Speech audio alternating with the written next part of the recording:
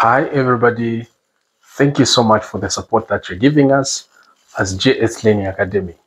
Welcome to lesson number three. So, if you have not watched lesson number one, lesson number two, find the links in the description uh, below. So, for lesson number one, we did the introduction part of uh, indices. Lesson number two, we did some laws of indices such as uh, multiplication, division, index to index. We also did different bases, common uh, index.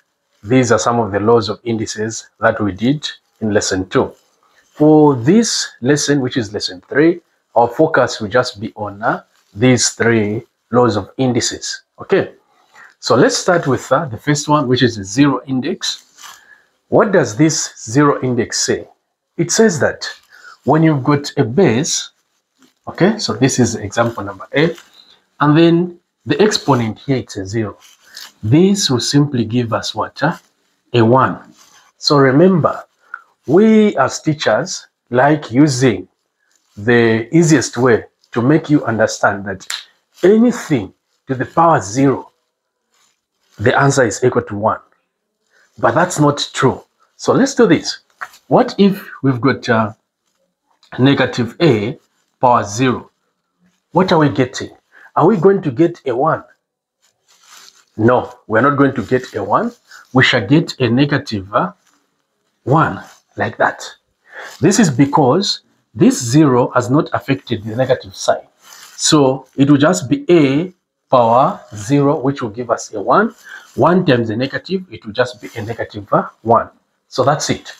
But if we want this to give us as a 1, we're going to say a or negative a inside the brackets power 0 and this of course will give us a, a 1.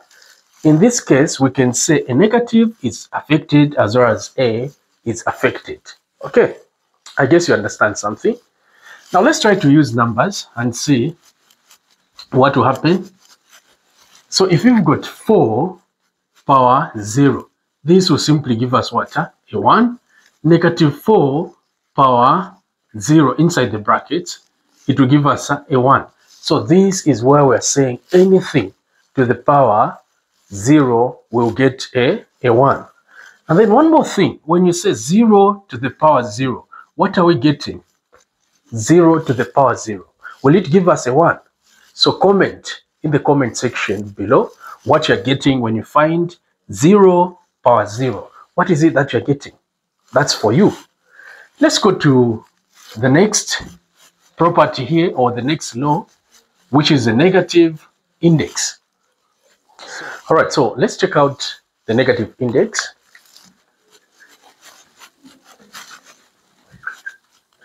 So when you've got a power negative b, you just see that the exponent has got a negative sign. You have to change this to a positive sign. And how do we get to change this? We're going to write a 1 over all this without a negative sign. So this is how it goes. Or in other ways, the moment you see that the exponent has got a negative sign, you're going to write this O of it, it will go down. And then here you remain with the 1 on top. That's what you do. What if you've got uh, 1 over a power negative, you see, power negative b. This also do the same, it will go on top. So it will be a power b, like this. All of it, it will go on top. Down here will remain with a 1, which won't change anything, even if you remove it. So this will be a power b, just like that. Okay. So let's try to use a little bit of some numbers and see if you're able to simplify this. So if you've got 4 power negative 2, okay, 4 power negative 2, this will simply be equal to a 1 over 4 power a 2, just like that. So this is how you work out negative index. All right, so for fraction index, there is something that you need to understand. So what we need to understand here is uh, when you've got a power m over n.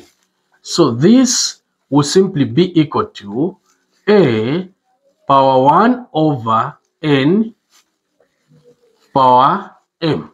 You see the way it looks? Power 1 over n power m. This m is out like that. So that's it. And from this stage, you can now say this. Nth root of a power m. Now look at this.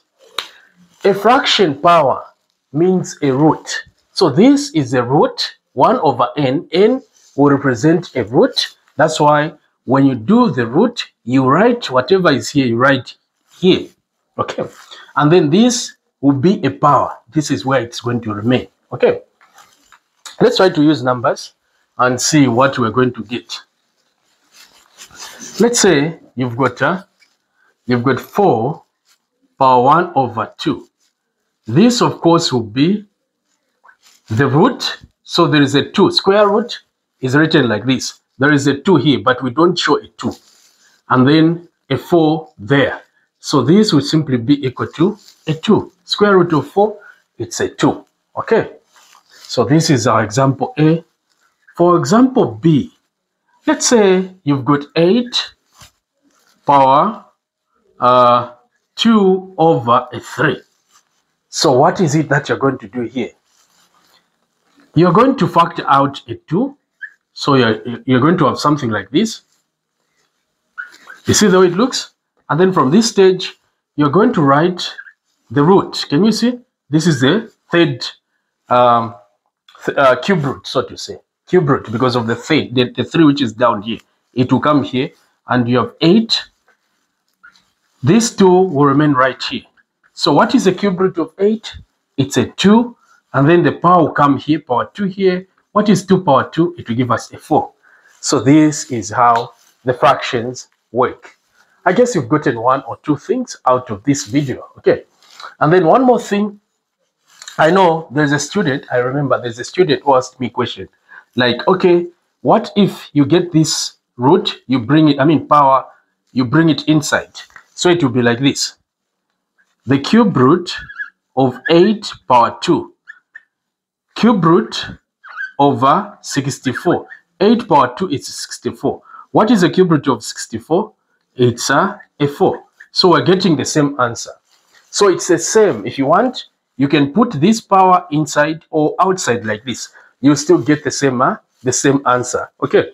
The only problem here is that uh, here you'll be dealing with a bigger number. That's why we encourage students to put it outside so that you don't deal with very big numbers. All right. Thank you so much for watching. We end right over here. Please remember to watch the next video and share this video. Leave a comment in the comment section. So for the next video, we'll try to answer exam questions and apply the laws of indices we've discussed. This has been Chamba Jacob, and bye-bye.